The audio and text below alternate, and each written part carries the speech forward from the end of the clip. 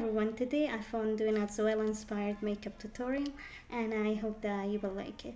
The first thing that I apply on my face is my foundation.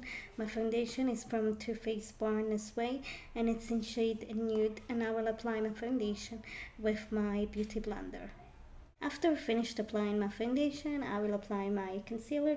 My concealer is also from Too Faced Born This Way and it's in shade light and I will apply my concealer with my beauty blender.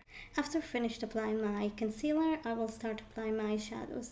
The first eyeshadow that I'm going to use is from the palette Naked Free of Urban Decay and the eyeshadow that I'm going to apply on my eyelid is going to be Buzz after finished applying Buzz, I will take my Too Faced Chocolate Bon Bon palette and I will apply on the inner inside of my eyelid sprinkle.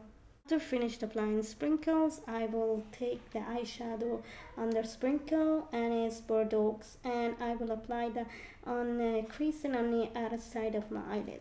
After finished applying Bordeaux, I will apply satin sheets on the corner of my eye to lighten the eye. After I finished applying all my shadows, I will apply my eyeliner. The eyeliner that I'm going to use is brown and this one is from Urban Decay 24-7 Glide On Eye Pencil and it's in shade Whiskey. After I finished applying my eyeliner, I will apply my mascara. My mascara is from Too Faced Better Than Sex. After I finished applying my mascara, I will apply my blush.